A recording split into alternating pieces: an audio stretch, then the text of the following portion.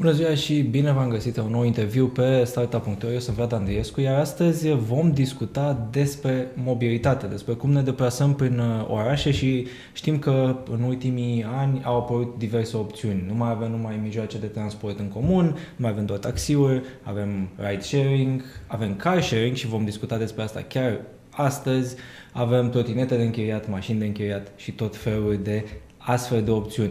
Și discutăm astăzi despre CityLink, o companie care a apărut în București anul acesta cu o flotă de 120 de mașini, mașini pe care poți închiria și să le conduci în, în oraș doar din aplicație. Și am alături de mine pe Dan Boabeș, CEO și fondator al CityLink. Bine venit, Dan!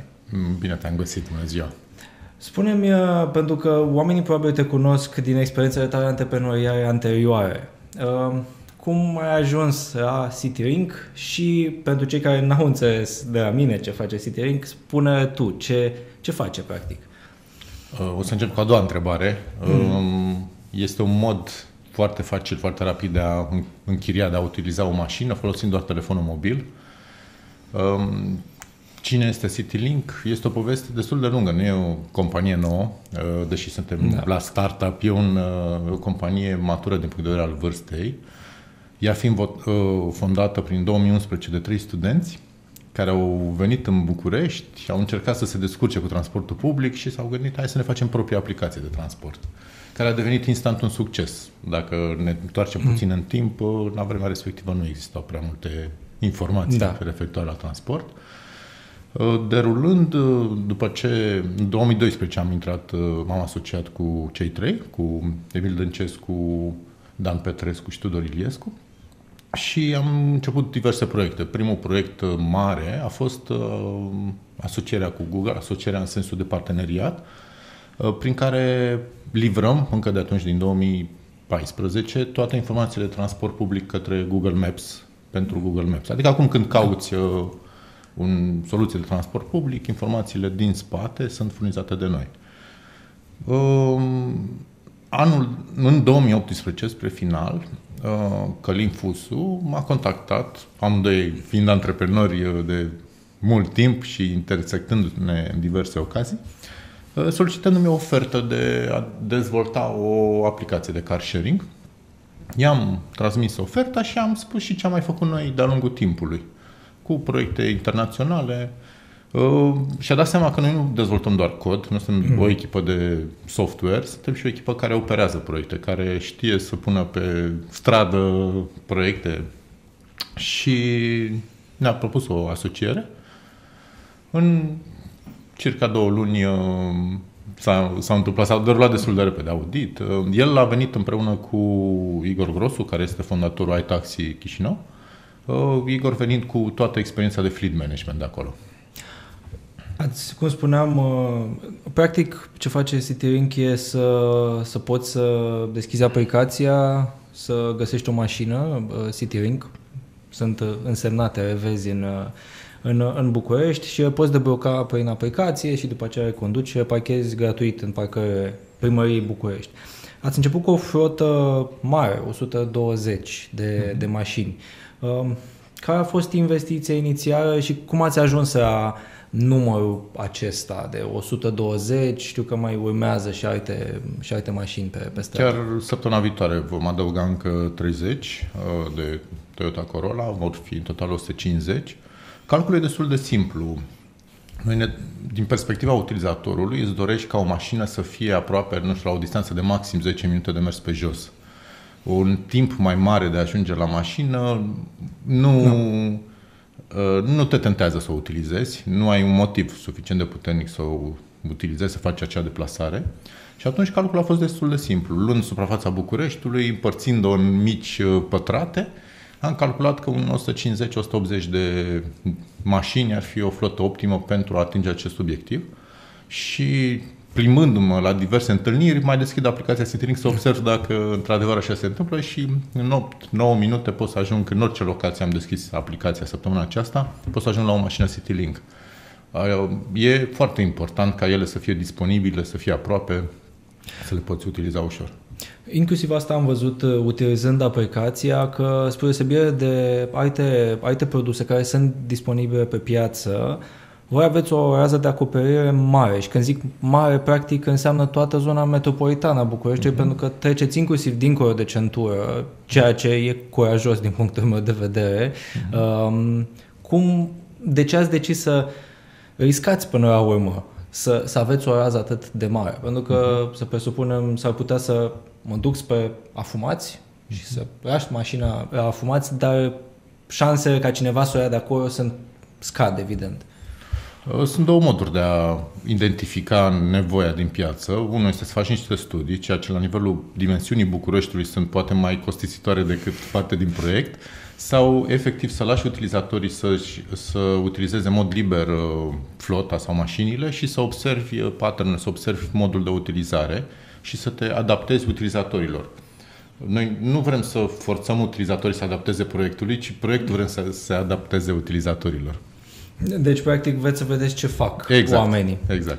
Um, știu că um, ați început să operați la începutul anului 2020 sau erați și de anul trecut? Uh, nu, în vară. În vară. Uh, am decis să lansăm și proiect de biciclete. Uh-huh. Am uh, lansat în luna august uh, un proiect de închiriere de biciclete, tot folosind aplicația.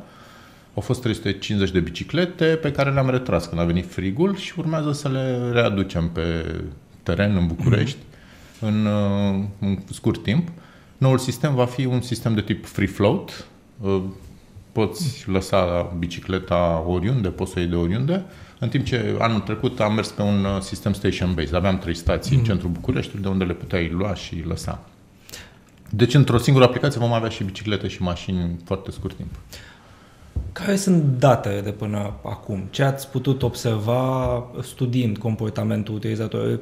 Evident că e a început și chiar dacă pe piață sunt alți concurenți care, nu știu, poate au 2-3 ani, putem să spunem că în continuare e a început zona de car sharing în București. Da. Um, e foarte interesant uh, o statistică pe care am observat-o. Uh, 90% din cei care fac o cursă în 3-4 zile fac a doua cursă. Asta ne arată nouă că bariera este de a porni prima cursă, de a deschide prima mașină, de a instala aplicația. După aceea îți dai seama cât de simplu este să deschizi mașina, să o pornești. Adică noi am încercat toată experiența din mașină, de acces în mașină să fie cât mai facilă. Și atunci uh, utilizatorul după ce observă că pornește mașina ușor, că poate să plece de pe loc foarte rapid, Uh, face și a doua cursă. Asta este principala uh, cifră încurajatoare. Celelalte statistici încă ne le, le analizăm și este în proces de analiză să tragem niște concluzii. Probabil în două, trei săptămâni vom avea niște concluzii referitoare la prima lună. Noi suntem doar de două săptămâni da. pe stradă și... Da. Dar ai putea spune că ești mulțumit din ceea ce ai văzut? Două săptămâni, într-adevăr, un antreprenor nu se uită la primele două săptămâni neapărat. Da. E uh, for the wrong game, ca să spun așa. Mm-hmm. Noi am uh, încercăm să discutăm cu utilizatorii foarte mult, uh, să obținem feedback și din partea celor care își instalează, dar nu utilizează, și din partea celor care utilizează în mod real. Și reacțiile sunt foarte bune, sunt încurajatoare. Am încercat să avem o aplicație stabilă. E o problemă eternă în zona asta da. de mobile, o aplicație proaspăt lansată, inevitabil mai are niște baguri și eu spuneam unii utilizatori că suntem surprinși plăcut că o aplicație nouă chiar funcționează cum trebuie. Da.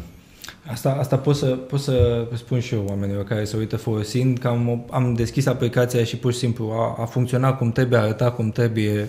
Nu era o aplicație beta exact. în care trebuia să o descoperi. Um, pentru că ai menționat de acea primă cursă pe care o fac utilizatorii și pasul acela.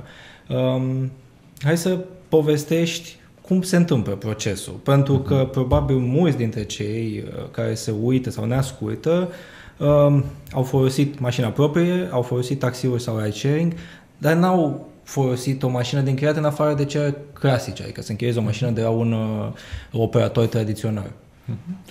Uh, ce am făcut noi, să povestesc cum funcționează da. ca utilizatorii să înțeleagă de ce se întâmplă în spatele cortinei, să spunem, în spatele aplicației. Uh, noi am dezvoltat un soft și l-am instalat pe o cutiuță care, montată în mașină, poate să citească tot calculatorul vehiculului și să dea și comenzi către mașină. Astfel ne permitem, putem să controlăm mașina de la distanță, să deschidem ușile, să facem diverse interacțiuni cu mașina. Um, de aceea, din perspectiva utilizatorului, sunt două etape. O prima etapă este cea de înregistrare, adică eu ca utilizator îmi atașez un card, toate plățile mm. sunt uh, efectuate cu cardul și îmi încarc direct în aplicație documentele, carnetul de conducere, buletinul și un selfie să, să, te să evităm, că, da, da. Că e, posesorul documentelor este chiar în fața mobilului toate acestea nu trebuie să neapărat făcute de lângă mașină. Am observat că mulți o fac de la birou. Uh, la birou, acasă, ai timp să, să faci lucrul ăsta, durează foarte puțin.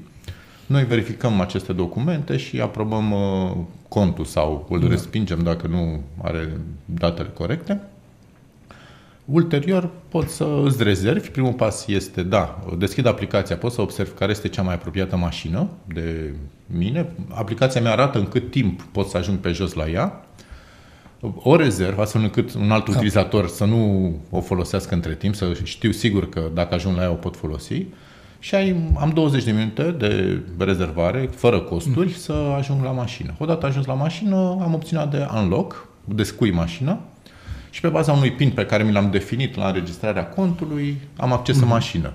Uh, surpriza e în mașină, pentru că efectiv pornești mașina fără să mai faci nimic altceva.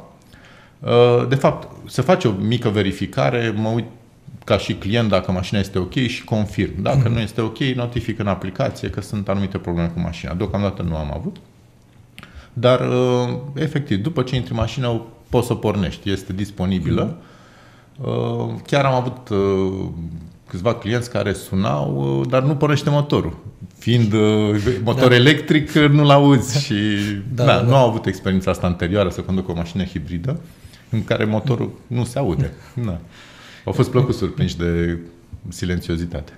Uh, cred că mai merită menționat pentru cei care o să o folosesc că um, costul e aveți un, un sistem de costuri bazat pe minute și kilometri. Uh-huh. Uh, practic taxați și minuturi și kilometri, uh, dar în general, cel puțin din ce am observat eu, costurile sunt asemănătoare cu ride sharing-ul, da. mai mult sau mai puțin pe acolo. Multe dintre proiectele de car sharing uh, taxează doar la timp, ceea ce pentru București nouă ni se pare incorrect pentru că Bucureștiul are fluctuații mari de, de disponibilitatea traficului. Observăm că, nu știu, dimineața poți să faci și 50 de minute uh, pentru 3 km, 3 km în 50 de minute și o taxare doar la timp și la o sumă mai mare ar face un, una, o astfel de călătorie foarte scumpă. Și atunci noi am ales uh, o taxare uh, atât la timp cât și la distanță, care mi se pare mult mai corectă pentru București, pentru că taxarea pe costul pe minut este foarte mic. Este asemănător cu mm. costul per minut uh, al uh, platformelor de trotinete, de închiriere de trotinete.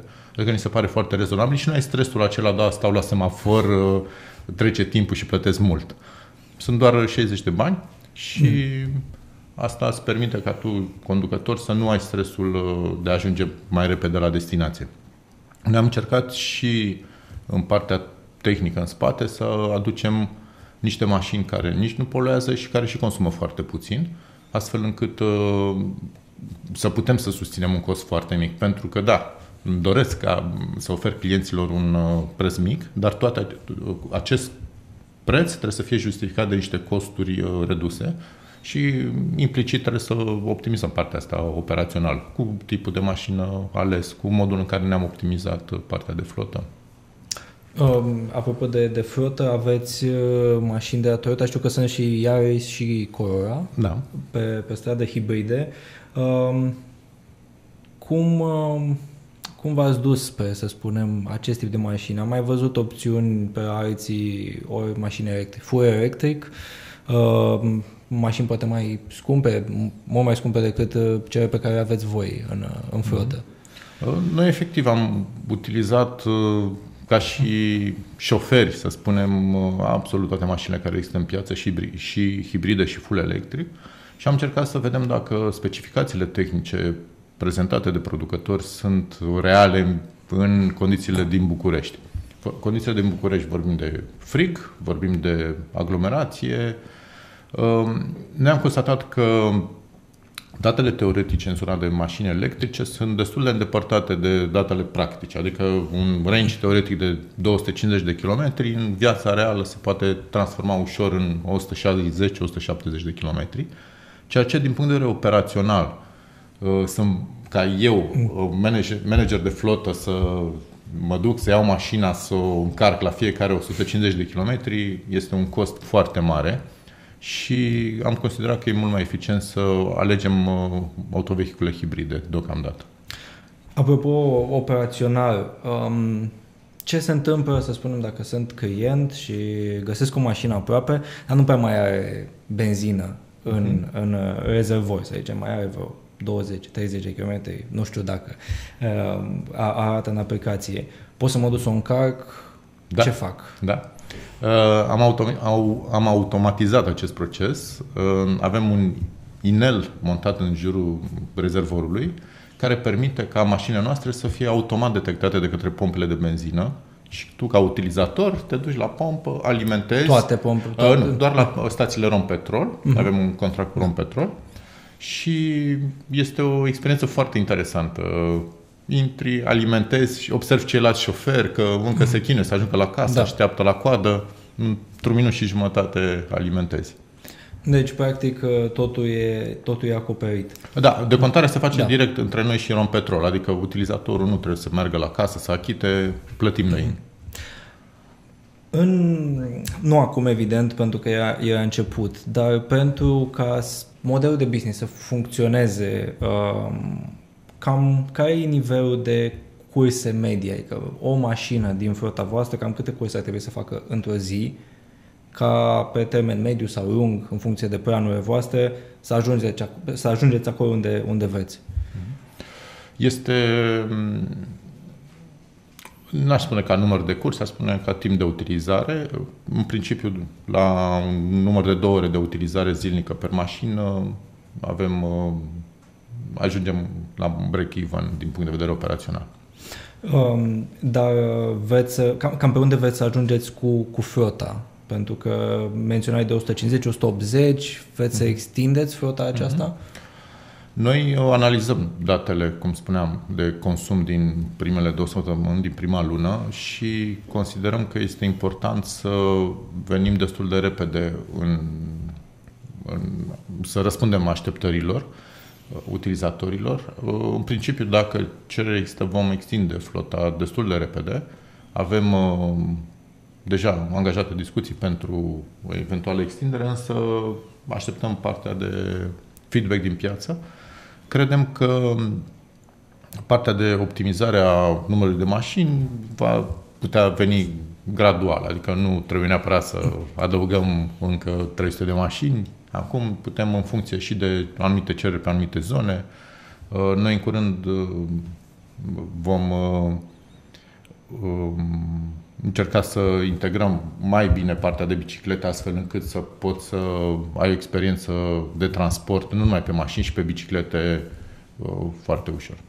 Deci, practic, veți avea mașini, veți avea biciclete, plănuiți să adăugați și alte mijloace de transport în aplicație. Mm-hmm. Noi ne-am exprimat încă de acum un an deschiderea către toți ceilalți jucători din zona de mobilitate din București, uh, deschiderea de a ne interconecta. Din păcate, deschiderea noastră s-a întâlnit cu închiderea lor, în sensul că nu am avut o mare, um, un mare apetit din partea celorlalți jucători de mobilitate de a ne interconecta.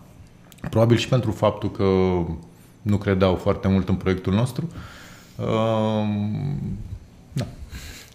Um, Um, pentru că, până la urmă, sunteți un produs tehnologic, uh, experiența voastră ca fondatori în zona de tehnologie, nu neapărat în zona de, uh, dincolo de uh, Igor pe care, de care menționai că a avut experiența operațională în, în Chișinău, um, vă gândiți ca pe termen mediu sau lung să deschideți uh, aplicația, menționai că erați deschiși către, către acest lucru, dar să deschideți aplicația către uh, uh, un model în care, să spunem eu, dacă am o firmă, pot să-mi cumpăr 5 mașini hibride și să le introduc în aplicația voastră, să uh-huh. producă bani pentru, uh-huh. pentru mine. Sau chiar mașina mea personală.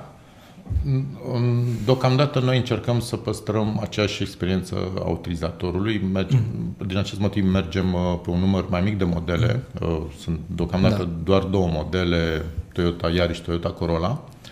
Pentru că am observat în alte zone de închirier mașini, atunci când un utilizator folosește șase tipuri de mașini, interacțiunea cu mașina este foarte complicată. Mă așez la volan într-o mașină nouă pe care n-am mai condus-o niciodată, durează 2-3 da. minute numai până să-ți dai seama pe ce trebuie să apeși ca să o pornești. Și cel puțin în prima parte a proiectului vom rămâne pe un număr mic de modele. Desigur, dacă ai 100 de Toyota Yaris, te așteptăm uh, cu drag. Um, da, luați în calcul să spunem cineva care, nu știu, poate puteți să puneți, să spunem, o limitare. Doar dacă vrei să cumperi 10 Toyota Yaris. Da, suntem deschiși. Da, da. Um, cum, cum privești zona, zona aceasta de, de mobilitate? E o efuziune nu numai în România, ci la nivel internațional. Din ce în ce mai multe soluții uh, sunt aduse în piață. Uh, încotro ne îndeptăm în orașe. Vedem cum e, cum e situația.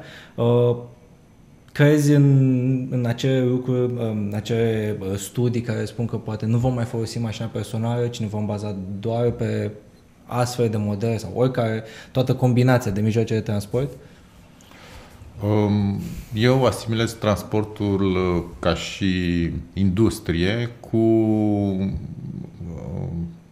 circuitele vasculare din organi- dintr-un organism. Dacă acestea nu funcționează, atunci nici organismul nu funcționează. Așa e și la nivelul unei țări. Dacă zona de transport nu funcționează, atunci economia este afectată sau nu performează, nu produce atât cât ar trebui.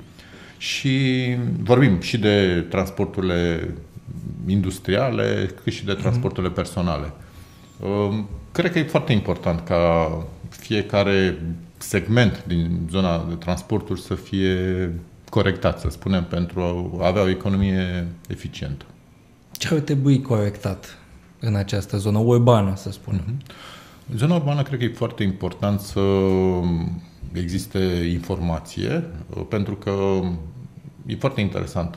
România este cunoscută ca un, o țară în top mondial al dezvoltărilor software cu resurse IT foarte importante, însă nu sunt uh, disponibile foarte multe platforme din care să-mi extrag această informație. În cât timp vine autobuzul, uh, care este uh, profilul de trafic, dacă, nu știu, călătorim în Marea Britanie, observăm că sunt poate sute de aplicații prin care pot să-mi gestionez călătoria zilnică, pentru că jucătorii din ecosistemul acesta și-au deschis platformele către dezvoltatori. Și atunci dezvoltatorii se adaptează mult mai ușor către uh, utilizatori. Cred că e foarte important să fie disponibil un acces către datele de transport, astfel încât să existe anumite min strălucite pentru a optimiza. Ce e foarte rău, să spunem, din punct de vedere al organizării, că nu sunt foarte mulți statisticieni implicați Uh, specialiștii în transporturi în România sunt văzuți ca acei specialiști care știu să repare un autobuz sau care știu să toarne asfalt. Din punctul meu de vedere, transportul poate fi optimizat doar cu statisticieni.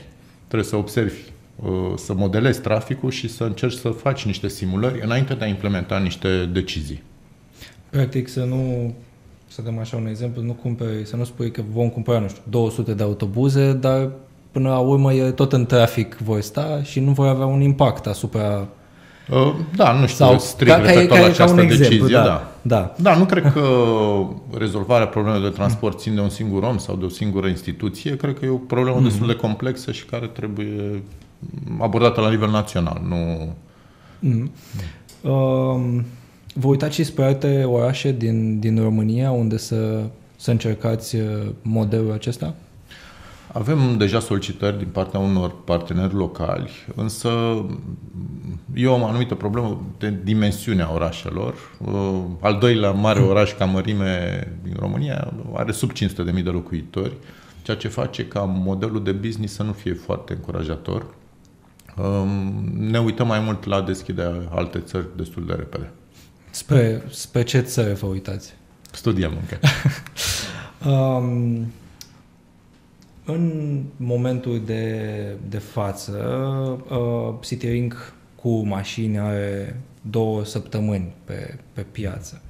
Uh, hai să vorbim un pic despre cine ar fi utilizatorul Cityring. Uh, pentru că de multe ori s-ar putea ca oamenii să se întrebe de ce să folosesc o, o mașină de la, de la voi. Care ar fi profilul utilizatorului? Când ar avea nevoie, de fapt, de acest model? Noi credem că una dintre problemele care generează aglomerația din oraș este acumularea de autovehicule în parcări. Uh, e ocupat astfel spațiu util care poate să fie, ar putea fi altfel redat uh, traficului și este mai, traficul devine mai fluid. Adică toate lucrurile acestea sunt legate. Sunt foarte multe familii în București care, pe lângă cele două mașini personale, au și mașina de serviciu. Uh, ajungem la o medie de peste două mașini pe familie, ceea ce noi considerăm că e foarte mult. Uh, dacă vorbim despre rezolvarea problemelor de trafic, rezolvarea ține și de noi. Uh, considerăm că pe termen mediu e foarte eficient să utilizezi o mașină CityLink în locul celei de-a doua mașini din familie, atâta timp cât a doua mașină din familie nu este utilizată sub peste, nu știu, 15.000-20.000 de kilometri, mm Uh, serviciul nostru, dacă iei în calcul toate costurile de înlocuirea învelope, de plata RCA-ului, de plată casco, toate costurile astea mm. de parcare uh, pe care un utilizator le plătește pentru a doua mașină în familie, sunt foarte mari. Nu e doar costul pe kilometru că am alimentat. Mă costă casco uh, foarte mult anual, mă costă parcare, costă învelopele. Și e un stres în sine. Și atunci noi considerăm că o familie inteligent, atentă cu uh, cheltuielile uh, personale, va alege să utilizeze ca mașina a doua mașină CityLink, cel puțin în, într-un an, doi. Apropo de responsabilitate și uh, tot felul de probleme care pot apărea în trafic, ce se întâmplă operațional dacă, să spunem, un, un utilizator are un accident, de orice fel, să zicem un mic accident, ca să fim uh, optimiști, în, în trafic, ce face atunci? Um, soluția dezvoltată de noi uh, recunoaște astfel de incidente în mod automat. Uh, avem uh, posibilitatea să recunoaștem incidentele și să reacționăm destul de rapid.